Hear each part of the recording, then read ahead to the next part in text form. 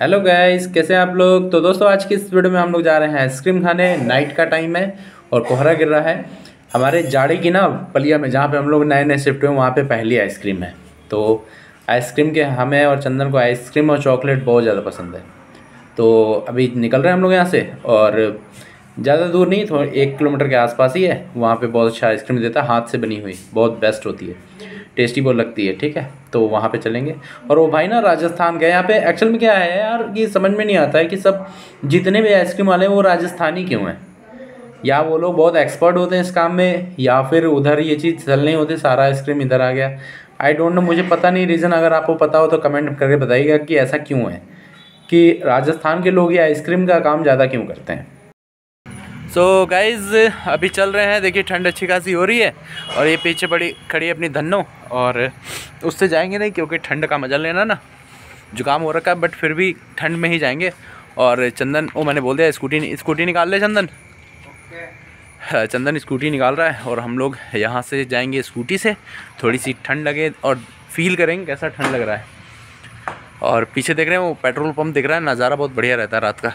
सामने light white एकदम जली रहती है। चाबी लगी है? चाबी नहीं है। चाबी लेके और दोस्तों, हम लोग ना इससे बहुत ट्रैवल करते हैं स्कूटी से। मज़ा आता है इसको चलाने में। बहुत अच्छी गाड़ी है।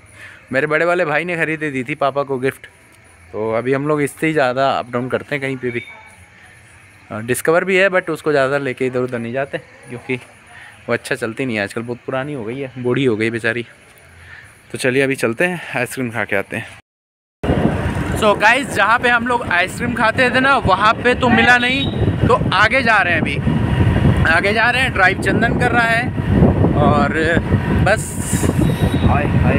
हाँ तो हम लोग ये दोस्तों आ, सबसे फेवरेट गाड़ी खड़ी रहती है जहाँ पे तो दोस्तों अच्छे से देखते हैं।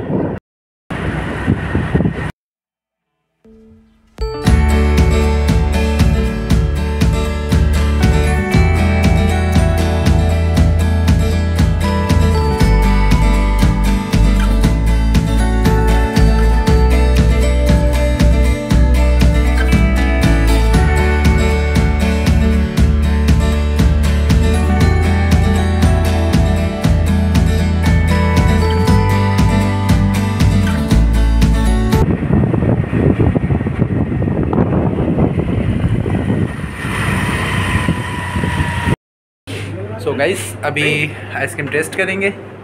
इसमें से बट मैंने मांगी है कौन कौन देख लेते हैं उसके बाद। दोस्तों हाथ पैर बिल्कुल ठंडे हो गए ठंड हो गई अच्छी खासी। बहुत तगड़ी ठंड हो गई तो आइसक्रीम ले ली मैंने मैंने लिया है बटर स्कॉच मेरा फेवरेट है दोस्तों। और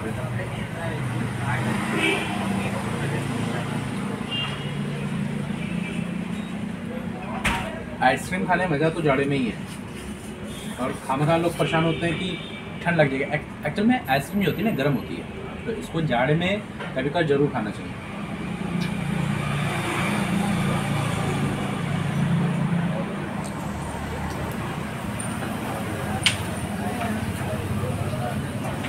सो so गाइस आइसक्रीम मैंने खा लिया है और यहाँ से हम लोग निकलेंगे घर।